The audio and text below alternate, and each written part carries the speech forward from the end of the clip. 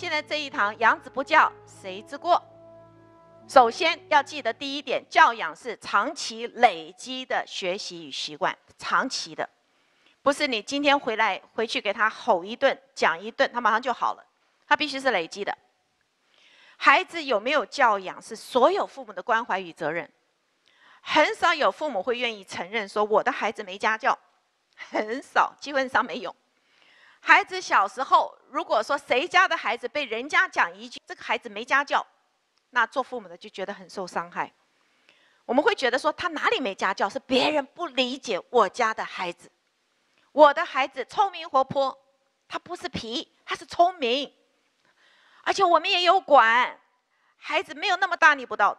我们常常会为我们的孩子解释，可是当你的孩子进入到小学、进到中学，学校开始也反映有问题回来的时候，或者你的孩子开始顶撞你，你左右支持他不动，做父母的无力感就会开始有了，然后会奇怪说：“喂，为什么别家的小孩看起来那么好呢？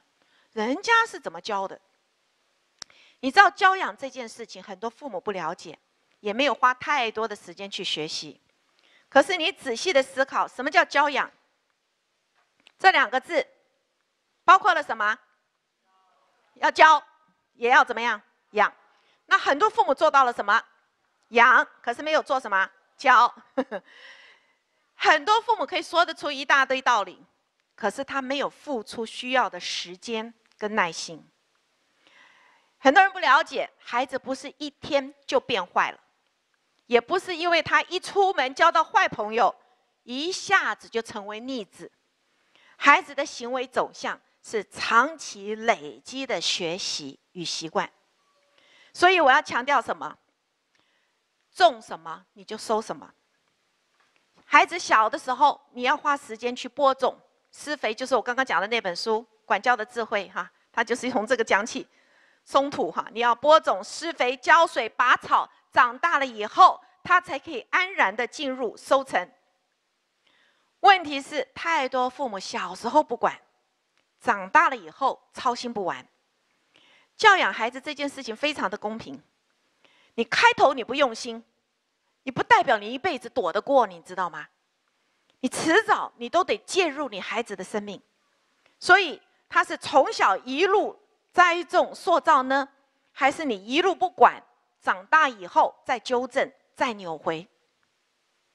你要知道，孩子长大了以后你才管，你要花更大的代价，你在补很多的错，你还不如小的时候你就把他的底子打好，所谓的身心灵底子全打好。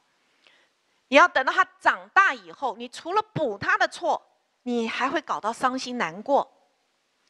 那时候还不见得有任何的效果，所以教养抓到第一个原则，越早越好，越早越好。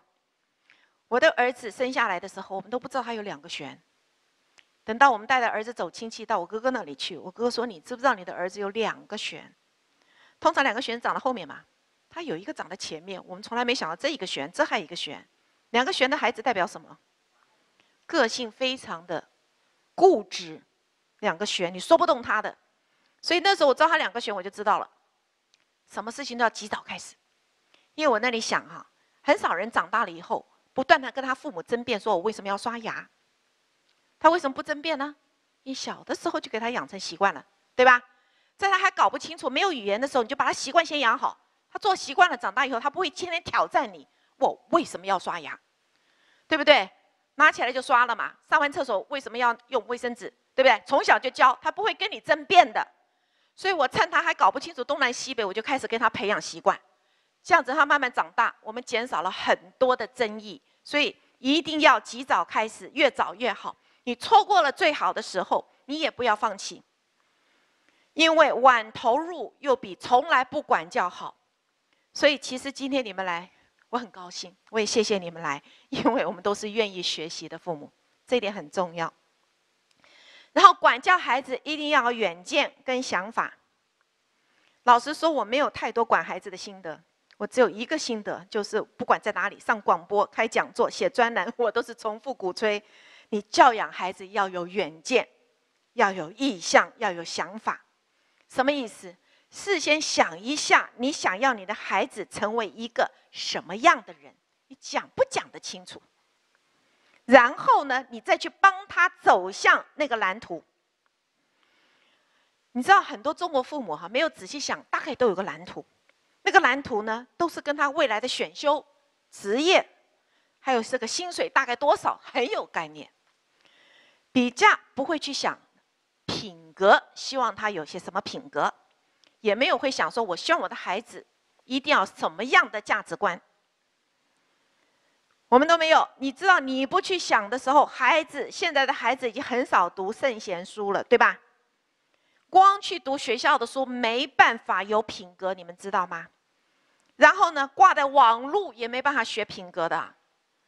他们所学到的，学校教的都只有学科。所以你要先想好，你希望孩子成为什么样的人？做一个负责任的、守法的、对人有仁义之心的、恻隐之心的人。如果是这样，那你现在的对待方式是不是可以帮助你的孩子有责任感？如果你希望他成为一个有责任感的人，你现在管教他的方式没有让他去负责，他玩具玩了就撒一地，他没有在负责。你想让他走到那里，他走不到的。所以你先想清楚，你要他成为什么样的人？你希望他成为一个守法的人。你现在就要让他有一个尊重权威的一个态度。如果在家里孩子眼中没父母，小霸王一个，你指望他进了学校会尊重老师吗？你指望他进入社会会尊重法律吗？不可能，不可能。所以，如果说孩子因为怕受罚，他在学校会听话，你希望你的孩子一辈子守法，是因为他怕被抓。不怕被抓，他就钻漏洞吗？还是你因为他内化了一些价值观，他不会去做？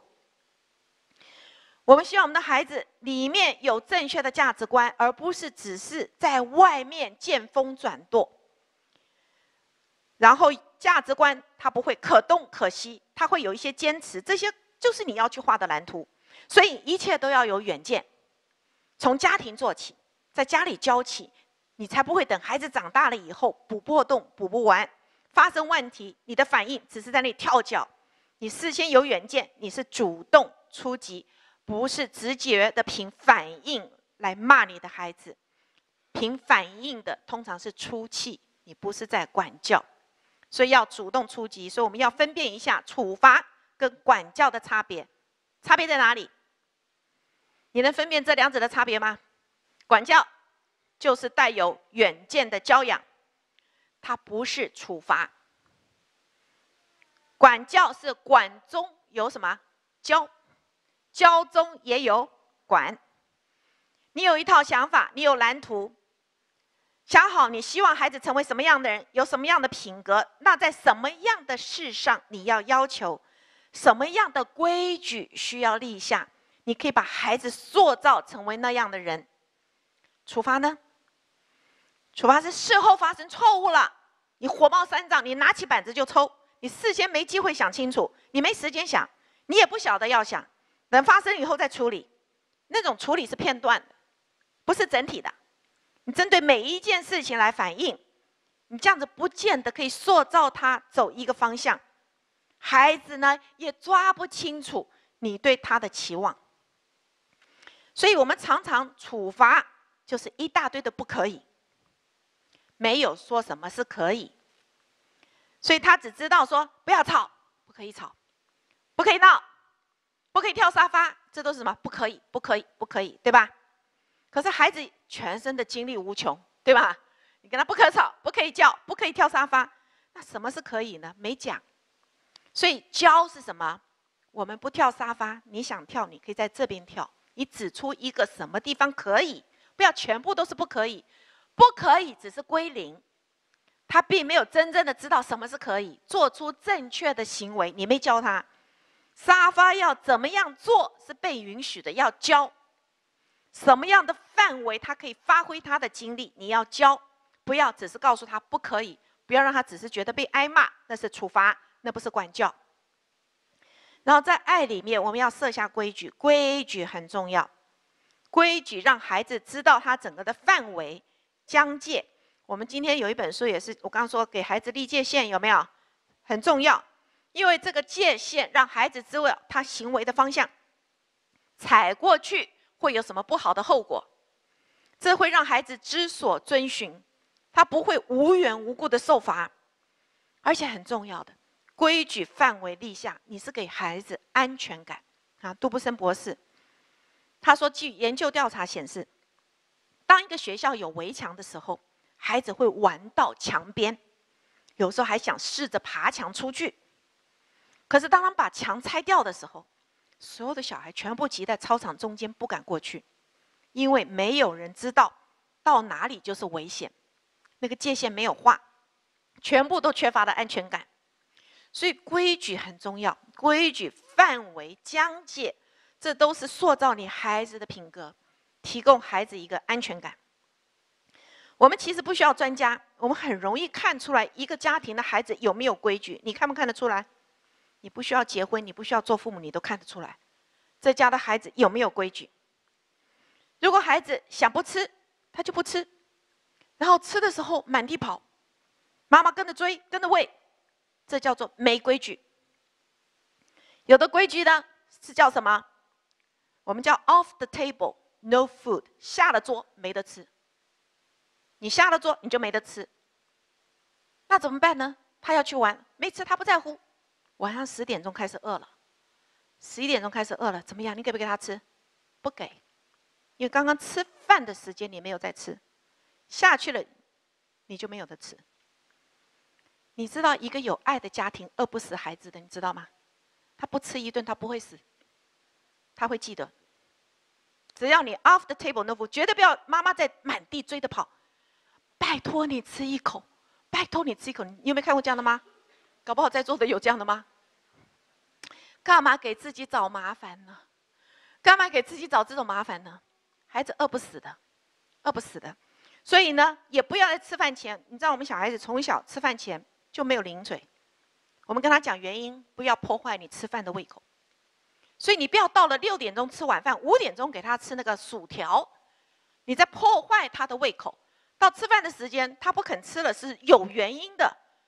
那个吃饭习惯是你把他破坏的，所以从小给他一个正确的观念：吃饭的前其实两个钟头就不应该再吃任何其他的东西了。所以到了吃饭时间，大家一起上桌的就是吃饭的时间，下了就没有了。这点很重要，规矩，规矩。餐馆里更是了，孩子闹疯了，怎么样？塞他一杯波霸奶茶，这一杯波霸奶茶像奶嘴，塞进去他就安静了。结果你发现塞进去以后怎么样？更闹，你知道为什么吗？所有的奶茶里面是高糖分跟咖啡因，你知道这会让你的孩子好动，你知道吗？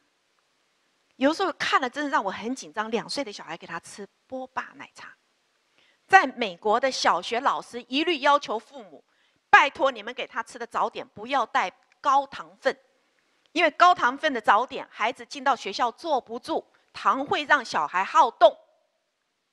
所以，父母你一定要了解，你没有规矩，付出代价的是孩子。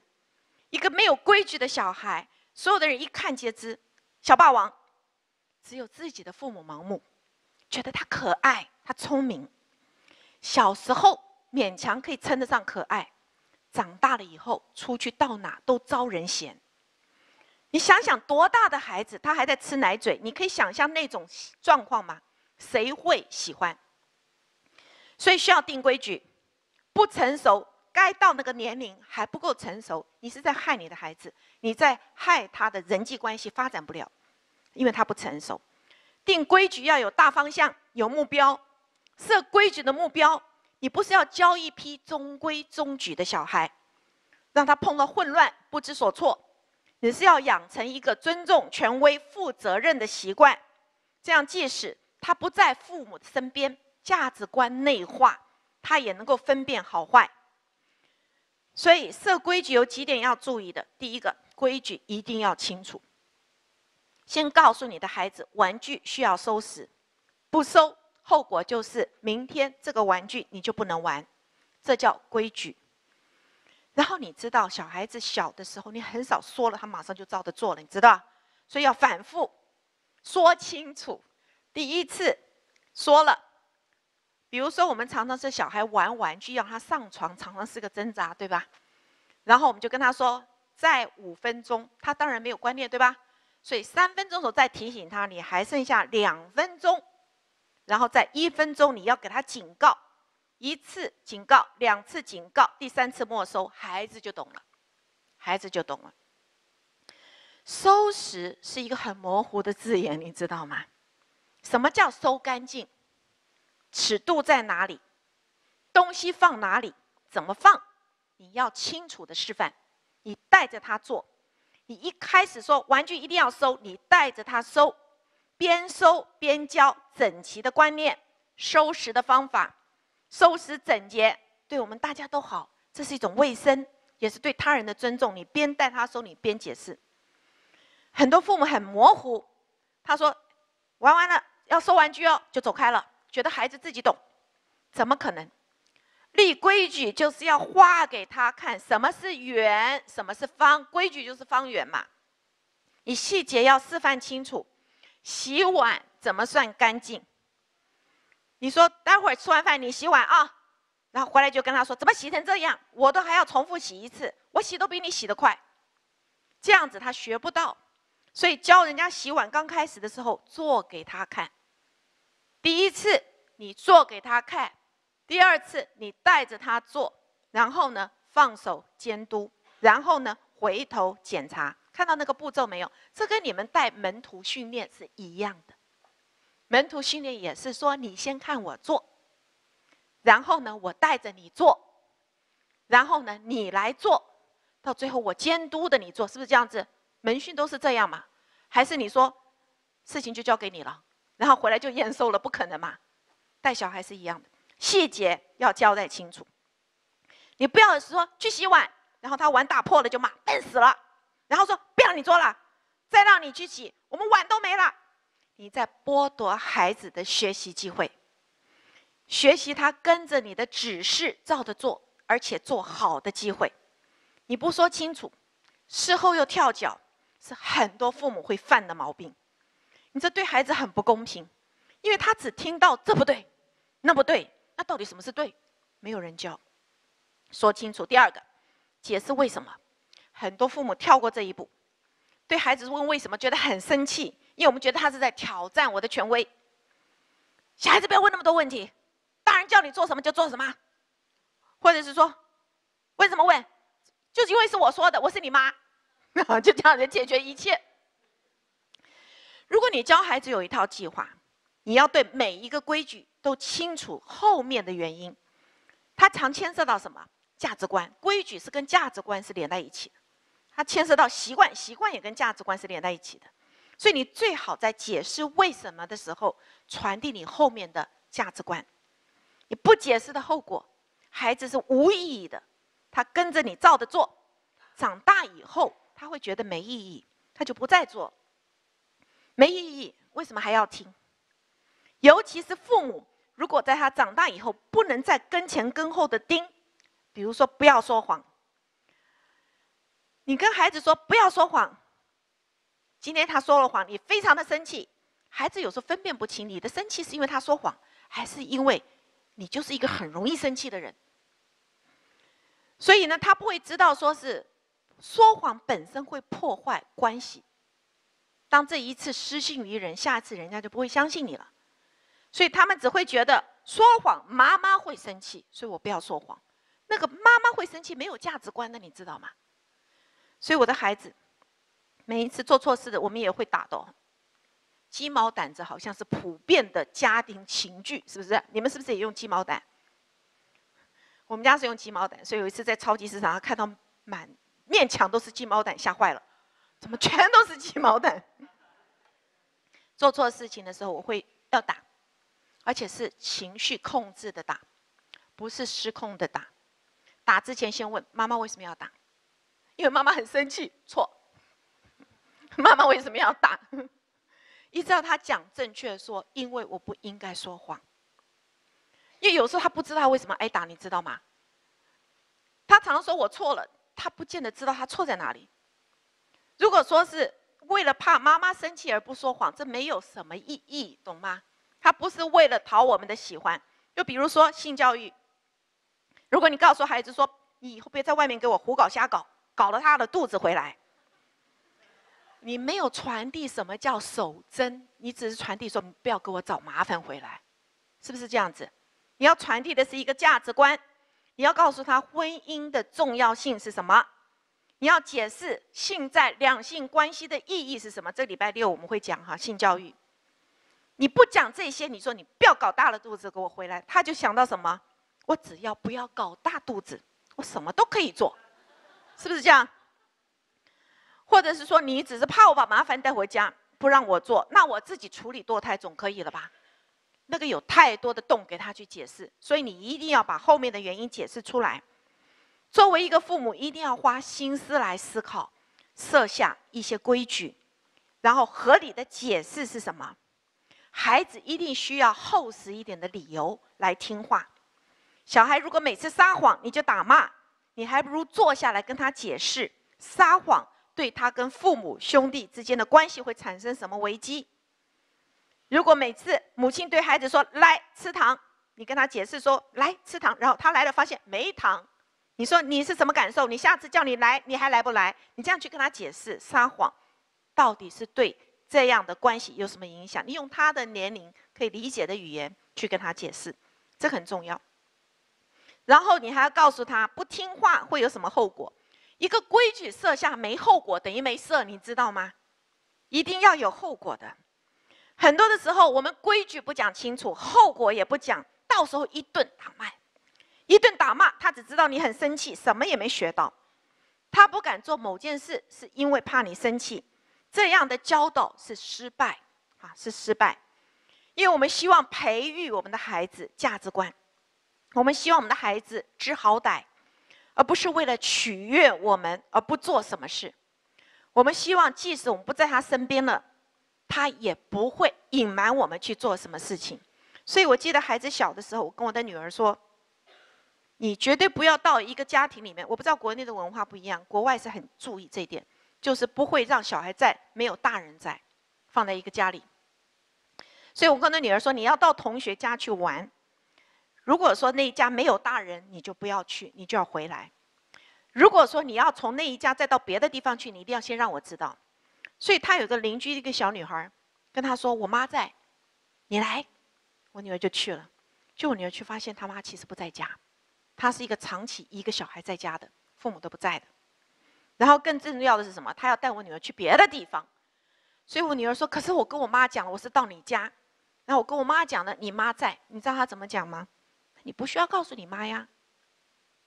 你知道小孩在外面就面对这各种这样的，你知道吧？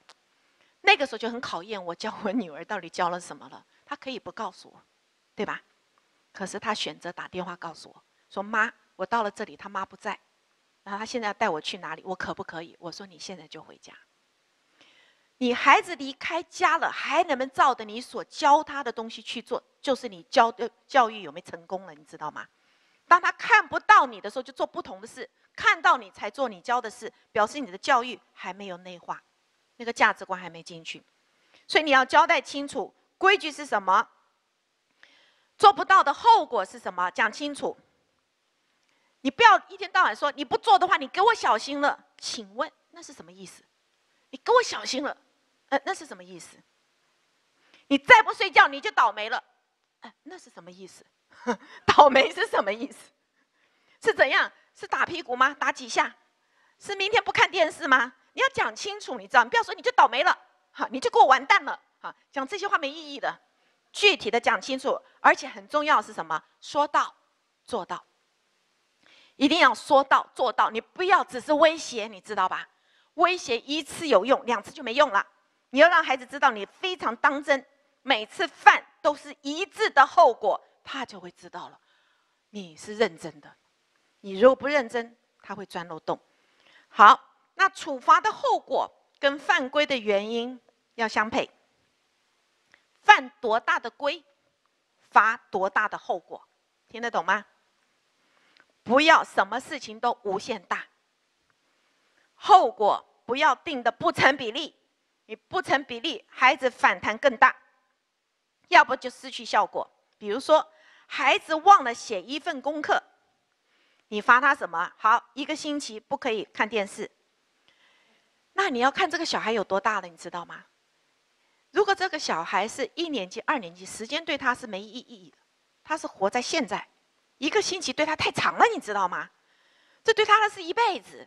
如果他觉得一辈子，那算了，那我剩下都不用写了，功课都不用写了嘛，对吧？你已经罚了我这么多了，那个一星期太长了。尤其是后来他都忘了他为什么被处罚，他只记得他不能看电视，他是觉得这个爸爸太可恶。OK，所以你这个罚的那个后果要合乎比例，你不要太过到一个程度，他无所谓。他无所谓了，到了第二天一星期罚他一星期，到第二天剩下那一星期他已经是自动放假，全都不用写了，自动放假了，也不能罚的不轻，呃，太轻，哈，就是不痛不痒不行，要刚好切到刀口，刚刚好。怎么知道刚刚好？就是当你说完那个后果，他马上开始哭，就对了，就对了。因为每个小孩不一样，你知道吗？在美国。我们罚的是常常叫 time out，就是说把他放在一个空间，不准他出来。哈，比如说这件事情他不听话，我们叫他抱到厕所里面，说多久不能出来，这叫 time out，这段时间他不能出来。然后呢，多大的小孩，比如说一岁的小孩，就是一分钟对他来讲就很长了。两岁的小孩两分钟，三岁的小孩三分钟，哈，是这样子的一个大致的比例。所以这个处罚的后果是这样。那他进去可不可以带手机进去？不可以啊！他带着手机进去，他可以在里面快乐的什么？这厕所里也像天堂了吗？是。所以你要知道不可以。可是你知道每个小孩不一样。我的儿子哈，放到哪都很快乐，快乐到一个程度，我们都忘了他在那里，你知道吗？那那个处罚对他就没用。我女儿是放到哪里一分钟她都嫌长，她会在一直在里面问。时间到了没有？时间到了没有？我可不可以出来？一直求你，你会觉得一分钟都好像太长了。那我儿子是不吭不响，在里面快乐无比，自己玩，我们都忘记他在里面了。所以你一定要找到合适的处理。爬不起床怎么办？就让他迟到，让后果来处罚他。爬不起床，迟到，迟到以后谁会处罚他？让他去，OK，这是自然的后果。自然的后果很重要，因为很奇怪，孩子非常在乎学校，孩子跟父母啊没完没了，学校不会跟你讨价还价，对不对？学校是说到做到，所以忘了写数学怎么样？补写，这是相关的。所以这边我要问的是，什么时候可以没收手机？他做了什么事情你可以没收手机？你们几岁给孩子手机？我想我应该先问这个，孩子几岁时候你会给他手机？三岁的小孩需不需要手机？我曾经在一个银行哈，看到一个小孩跟着他妈在旁边，他就拿一个银行的那个收据，然后那个手就这样子，拿了一个收据在干嘛？玩手机。小孩从小看着大人一天到晚眼睛就在手机上，他也会想要的手机。几岁孩子会需要给他一个手机？三年级需不需要一个手机？需不需要？他会不会打电话？他会不会说：“妈，现在几点几分？我在哪里？你可不可以来接我？”能够讲得清楚这些资料，大概是几岁？是不是需要有小学的年龄？小学几年级？三四年级。我跟你讲，完全是看这个小孩他能够为这个手机负多少责任，他能够使用这个手机，不到这个时候就不需要。那什么时候可以没收他的手机？是当他比如说在不该玩的时候，在用手机的时候，就是可以没收的时候。吃饭的时候可不可以拿出手机？最可怕的是大家都各有一个手机在吃饭，是不是？家庭时间很重要，所以吃饭的时候他拿出手机，那个时候就可以没收，对吧？做功课的时候他如果拿出手机也是可以没收。还有什么时候可以进网络？这些你们都要思考的哈，要有远见。你的处罚的后果跟犯规的原因要相配。我这边要提醒一个，不要拿走他的奖励当做处罚。比如说，好，你跟他讲好，你只要拿 A，你就可以去看一场电影。后来他不收房间了，你就把他看电影的拿走，这是不相关的，懂吗？原来答应他的奖励还是属于他的奖励，不收房间，你需要给他另外的处罚。绝对不要把答应给他的奖励拿来当做处罚。听懂了我的意思吗？这一码归一码，这很重要哦，这是要非常清楚的。好，所以我刚刚已经讲了。然后随着年龄要调整，小孩子一岁的时候罚一分钟就很多了，然后呢，五岁的时候罚五分钟，你跟着他的成长来定他被啊管教跟处罚的时间长短。随着他慢慢成长，你要给他更多的自由跟责任，所以你设的规矩必须要有弹性。当孩子照着你的期望长成一个自重、自爱、负责任的人。有些限制就可以开始放松了，因为你信任他，你就不需要盯着他，更多的决定权可以交在他的手里。学钢琴，海外的华人每一个华人小孩都会一个乐器，啊，不是钢琴就是小提琴就是笛子哈等等。那我们家，我们家的小孩哈，我曾经在小的时候，在我们的邻居家里面，我看到的一个状况，就是孩子都没准备好，妈妈就给女儿。一架钢琴，儿子一个小提琴，然后那个乐器放在家里，没有人去动。然后我们家没有钢琴，所以我学钢琴，我就到他们家里去借他的钢琴去弹。所以我一个很深的观念，在孩子还没准备好时候，不要给他乐器。所以到了我们家的时候，我的孩子是儿子学钢琴，女儿学笛子。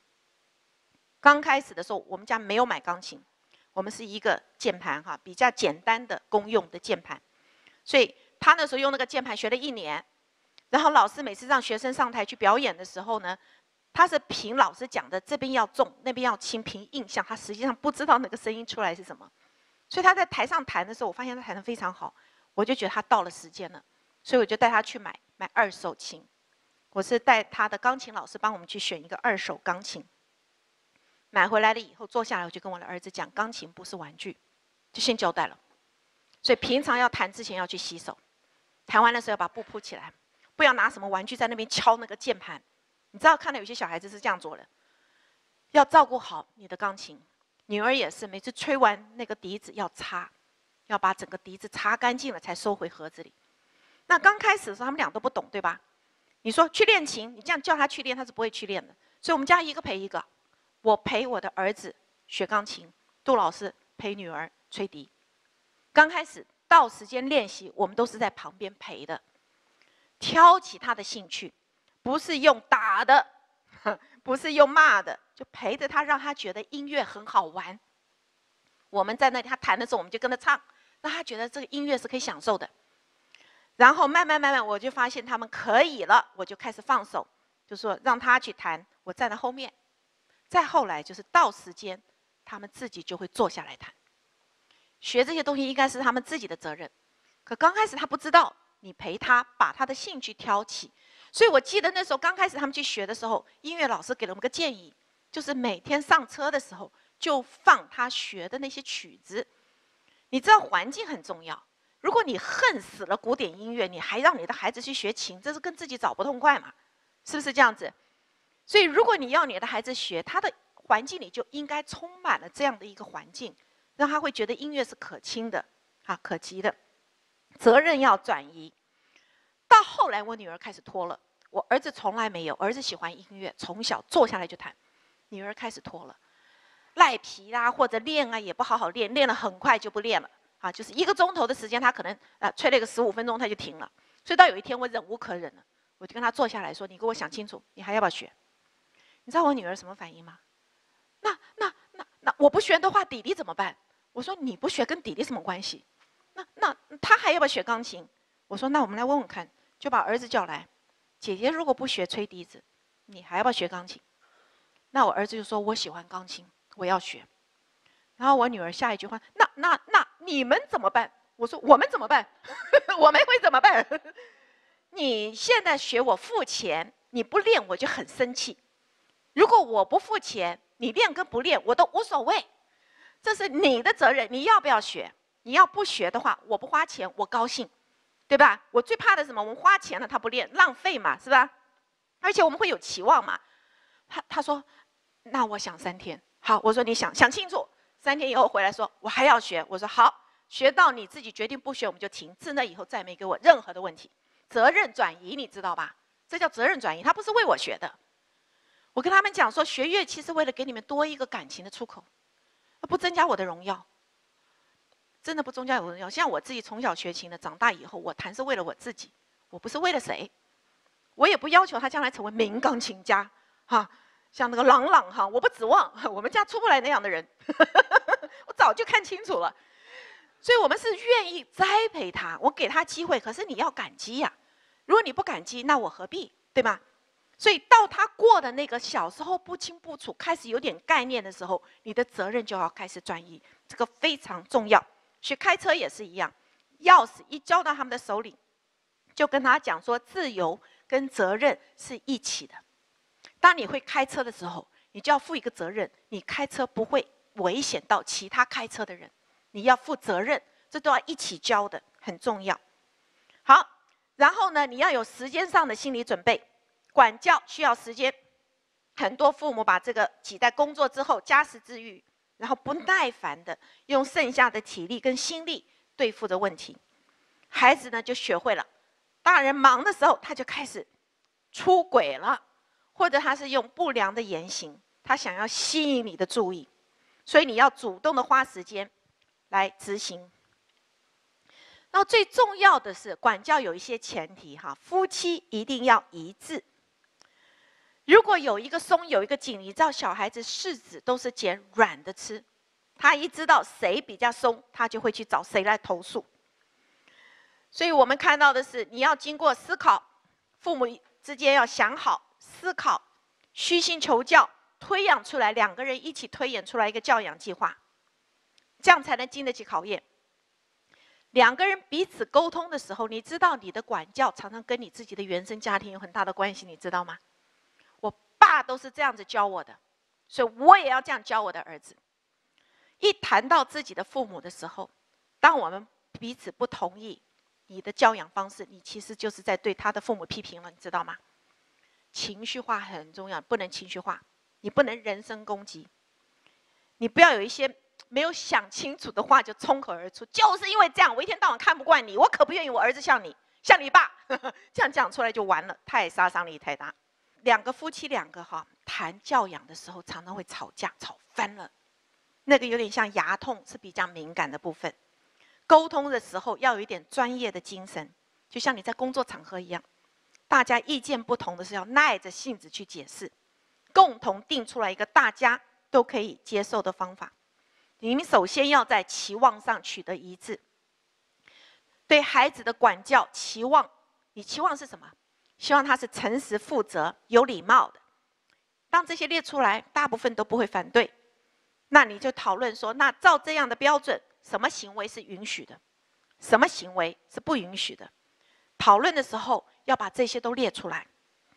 撒谎其实是正常的行为。你问说谁刚刚把桌上的糖吃掉了，都会会说我没吃啊，这是最直接的。你们两个谁先开始打的？是他啊，这都是正常的行为。很多父母会说那是孩子嘛，哪个孩子不爱吃？哪个孩子不打架？那在正常的行为下，有的时候我们会模糊管教的焦点，那价值观不觉不之间就给人家感觉说撒谎没关系，撒谎没有错，打人没有错。所以我们的期望。如果是希望孩子诚实有礼，你就要分辨对一件事情的处理，从一开始就要灌输这种行为是不妥当的，是不被允许的。所谓为孩子立界限，就是告诉他这种行为是不被允许的。我在国内看到很多这样的现象，有的是对祖父母，有的是对父母，孩子会打，小小的孩子会打父母，会打祖父母，你们看过没有？这马上要告诉他是不可以的。第一次打的时候，他不知道，你知道吗？小孩打老人家，我是很看不过去的。老实说，老人家没有做什么，只是不如他的期望，就在旁边打打，其实是耍赖那种小霸王。这第一次你就告诉他 “no”，不可以，很严肃告诉 “no”，这个是不被允许的行为。要求有话好好说，然后预防胜于治疗，不要一天到晚吼叫处罚。家里的气氛一定不好，管教不是凡事都说不可以。我刚刚已经讲过，早早的养成习惯，早早的养成习惯，给孩子一个固定的时间表，其实对孩子比较好。妈妈在这个时间表里面也比较轻松，什么时候开饭，什么时候睡觉，可以减少很多的冲突。我们家有两个孩子，两个差两岁到九个月，两岁九个月，所以小孩子小的那个睡觉时间跟大的时间一定是有出入的，对吧？可是我们就是晚上九点钟两个人都要上床，可是那个不想睡的呢，你可以看书，就是让他开始安静下来，你可以看书。你可以听你的音乐，可是到时间作息一定要有一套组织，孩子比较有安全感。第二个，转移他的注意力。如果小孩喜欢 我们家的室内植物，所有的室内植物孩子全都吃过了哈，小的时候全都吃过了。有一次还从嘴巴吐出来一个毛毛虫。我跟你讲，与其每次看他吃什么碰什么，说 no no no 不可以，你干脆把它都搬开嘛，对不对？把环境里面把它理清，哈，不该让他碰的东西拿走。在厨房里面的刀叉很危险，刀哈这些东西，你跟他说这个不可以碰，那个不可以碰，你不如给他一个抽屉里面放一些他可以玩的东西。小孩子很喜欢玩像真的的东西，所以我们有一些旧的那些碗盘锅子就放在厨房最下一个抽屉，那是他的抽屉。我们在外面，我们在上面做菜做什么，他可以在下面玩他的厨具。你给他一个地方，让他是可以的。转移他的注意力，转移他的注意力，然后那是小小孩，大一点的时候，你让孩子看着刀，跟他说：“你不听话会有什么样的处罚？”就解释。那另外一个呢是事先预期规划，预期是很重要，事情还没发生之前先规划。三岁的小孩他不想睡午觉。可是呢，你跟另外一个小 baby 可能需要休息，你就跟他解释：如果你不想睡，可是你还是需要休息，跟他讲还是需要休息。那孩子一定会抗议，你就在他的床上放一些他可以做的事情，让他去休息，让他有事做。哈，小孩子自己跟自己玩是很重要的一个生存能力。好，生存能力。放假的时候，孩子说：“好好无聊哦，我没有事干，尤其是暑假。”孩子是带着很大的期望，很多的兴奋，结果到了第一天才发现我没事做，啊，什么都没得做。那父母就要帮助他策划，跟他一起想说，我们这个暑假可以做什么？什么时候你是可以去跟朋友去游泳？什么时候你在家里可以做些什么功课？你跟他一起来策划，这叫做事先预期。事先预期也可以去预期他一些事后的反应。通常小孩来到教会都比较兴奋，你知道吧？太多的刺激，回到家以后，通常都比较闹，所以你就要安排他回到家的时候，不给他太多的功课，因为那段时间他已经累了，过于兴奋。你给他的一些活动是以安静他为主的，你不是把他玩得更疯的。然后没有什有些什么时候他不听话，是因为他过于累，坐不住，这些都不需要处罚的，你要斟酌情形的。好。然后分辨管教的重点，首先你要知道他是故意违抗还是无心之过。什么是故意违抗？我告诉你不能做，他当场马上做给你看，这叫做故意违抗。什么是无心之过？无心之过是孩子不小心把牛奶打翻，你要不要处罚他？要不要处罚他？那不是故意违抗，那是无心之过。我记得有一次，啊，我的女儿帮我。出去买菜要拿回，在美国我们都是开车嘛，装满了，他要帮我把菜拿到厨房，把整盒的蛋给我打翻了，全破了。我当然是很气恼，可是我知道他不是故意的，他是不小心的。你说那个要不要处罚？不需要处罚，因为你的目标是要孩子听话，他无心之过不是因为他不听话，是因为他没有能力听话。孩子忘了交功课，要不要处罚？要不要？要不要？所以你就要分辨了。他不交功课，是因为他故意不上心，还是有些小孩天生就会忘？是不是有些小孩天生就会忘？所以这个你要分辨啊，这个要分辨。好，第二个重点，你要重要问题跟次要问题分辨一下，什么是重要问题，什么是次要问题？说谎是重要还是次要？吸是重要还是次要？吸毒呢？房间不收，次要；头发样式搞哇搞怪，次要。你要分辨，你知道吧？重要跟次要，因为做父母就怕劳动。你不要什么事情都有最高等级的疾言厉色，你知道吗？那个家庭气氛是会很负面的，而且呢，孩子很容易对你爸爸妈妈的声音开始听不见了，失去敏感性了，弹性疲乏。所以你要对真正的重要的问题，才真正的用最高级的去处理，其他的次要问题，品味跟习惯是次要问题，品格跟价值是重要问题。你还要分辨什么是真正的需要跟感觉的需要。两岁的小孩，他会觉得他需要吃饼干，你觉得那是哪一种？他可能是感觉，因为他可能真正需要的是晚餐，哈，可能是晚餐。你要分辨，父母都知道的，什么是他真正的需要。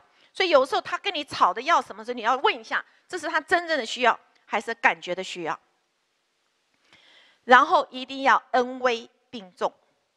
过严的父母常常会说不可以立很多的规矩，孩子长在一个充满指责、负面控诉的不愉快环境。可是太放纵呢，就无法无天，造反有理。你知道，我们到一个人的家里，很快就知道这个家里谁是主人。很多是小孩是主人，满地都是，全是他的玩具，没有地方可以走，然后没礼貌，哈，顶嘴粗鲁。要什么东西没要到就耍赖发脾气，让父母就范啊！这就是孩子在做主。那我现在讲到的是说平衡，平衡很重要。在一个平衡的家庭，你会跟他说好可以，然后让他能够觉得被尊重，然后知道说有些事情要照着你所立的规矩去做，并不是他来掌控整个家庭的走向。你们知道排行会让小孩的个性不一样吗？他看自己的家，看世界会不一样吗？排行会不一样，他学习这个世界的方式也不一样，因为站的角度不一样。老大生出来的时候，他的世界里全都是什么人？大人。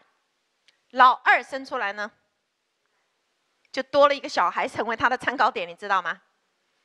我们常常说，只生一个孩子，大人是不会跟小孩抢玩具的。再生一个。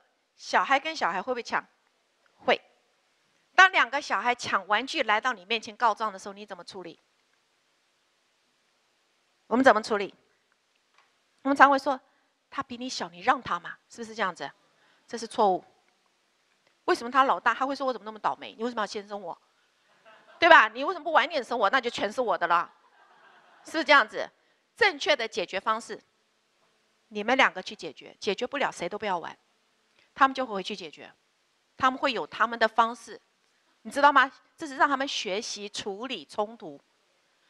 两个如果说你打我，我打你，吵得不得了，你过去问说谁先开始的，他们一定会说他先开始的。这种问题都不用问，你只需要说你们两个如果解决不了，那两个一起罚，是吧？我给你五分钟，五分钟解决不了，两个一起去房间里面去，啊，一起解决，马上就解决了。那通常老大。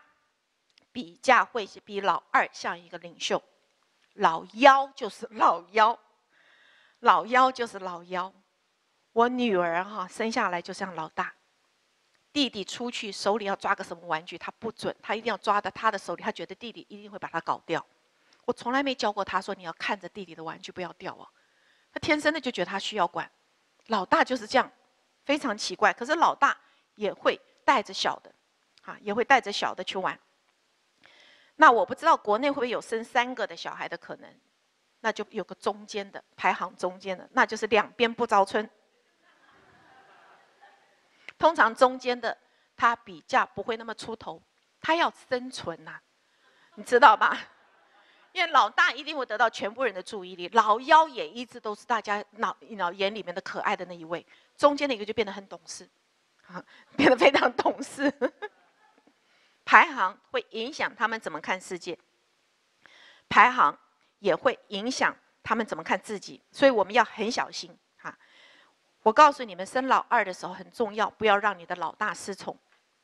教会里面面对，如果谁怀孕生老二，你去看他的时候，拜托你带个玩具送老大，因为我们去看老二，所有的注意都在那个，哇，好可爱哟，他怎么长得这么可爱？然后你会发现那个另外一个老大在旁边可能一直叫，一直干嘛要争取你的注意力，我们全部都注意不了他，因为我们去看的那个焦点是在老二。正确的做法是买一个东西送给老大，先跟他讲完话，再去看小的，让他不会觉得被冷落。要不然你会发现老二生出来的时候，老大忽然退化了，本来会上厕所的不会了。为什么呢？他也希望你的注意力，你知道吧？他就用有问题让你去注意他嘛，然后他会变得忽然非常的闹，非常的叫，因为这些都是在叫要你的注意力。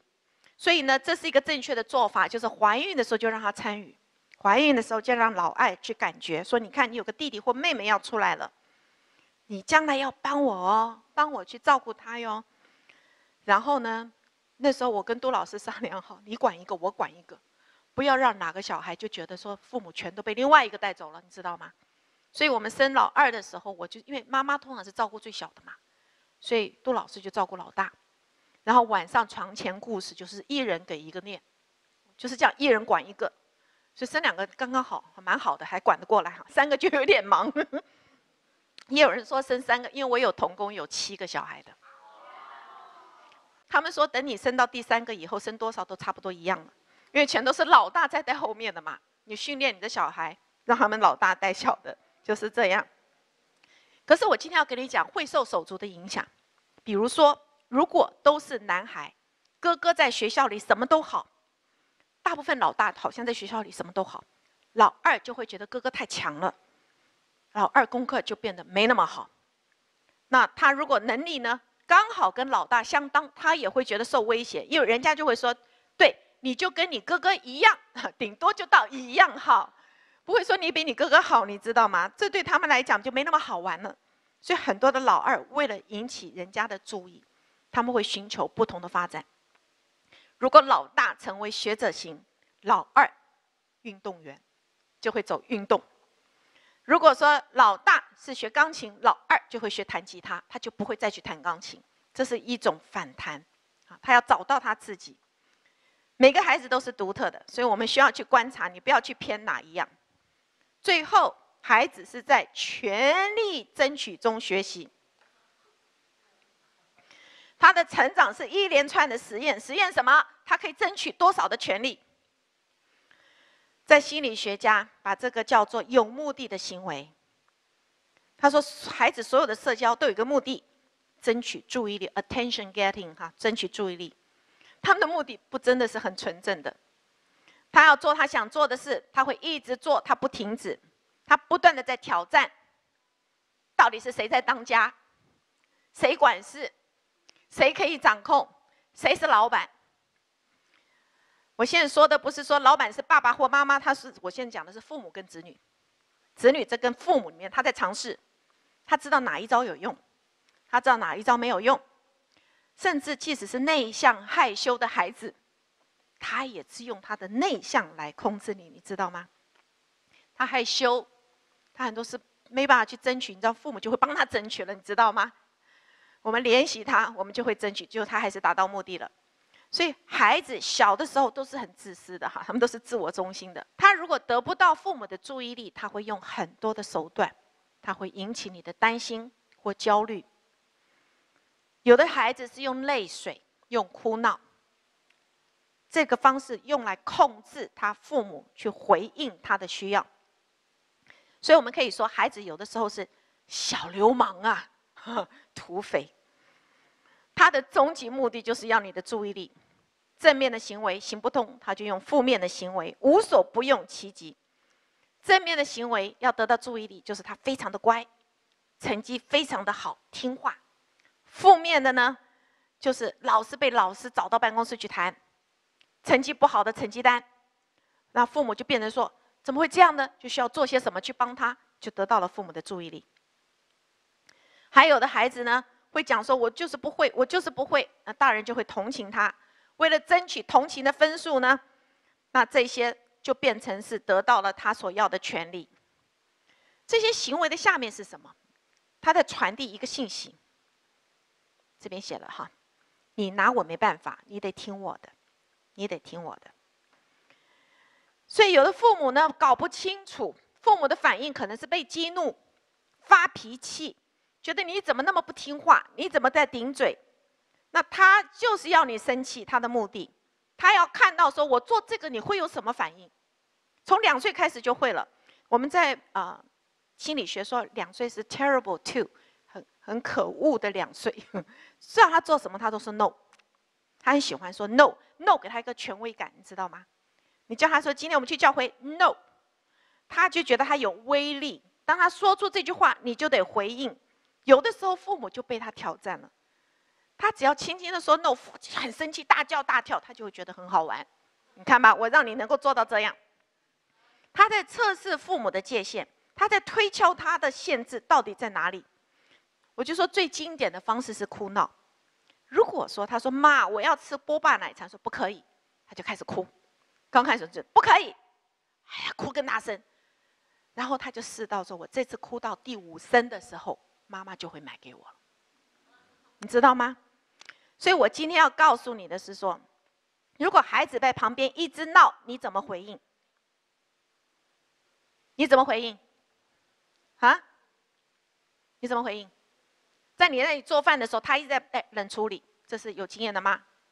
有经验的吗？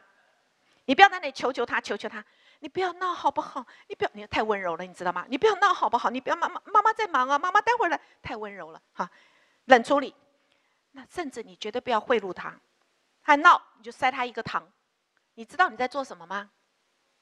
孩子闹你塞他一颗糖，你在做什么？你知道吗？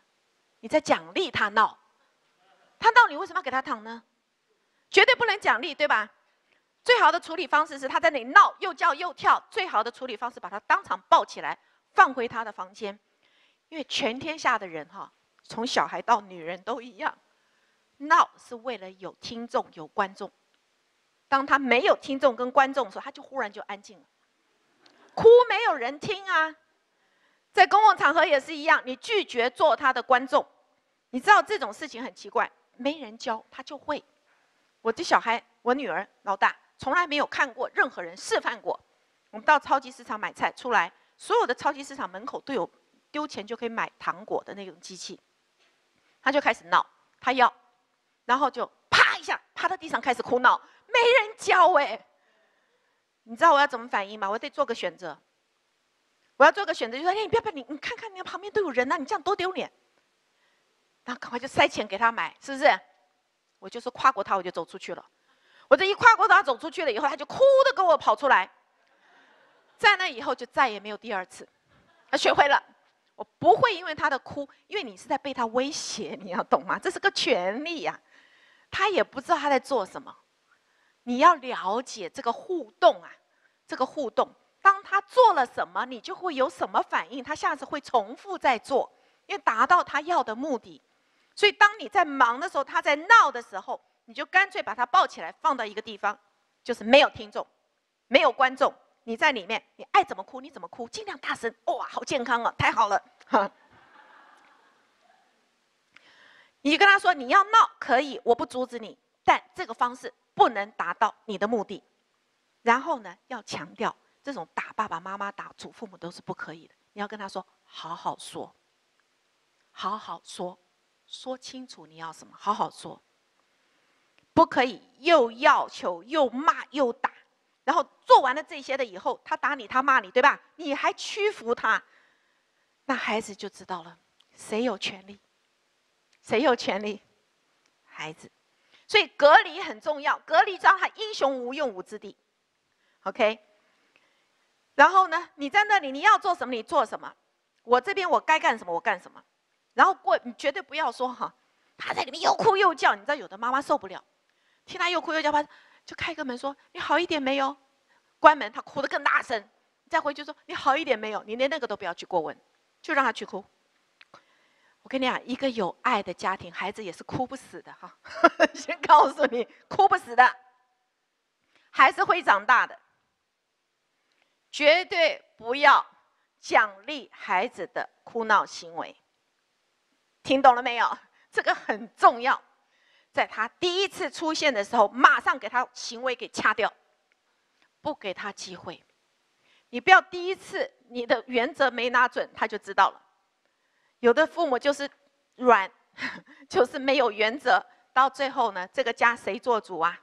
就是那个孩子做主。所以养子不教，谁之过？谁之过？父母之过。我们一起祷告。亲爱的天父，我们先为你托管在我们手上的孩子向你感恩。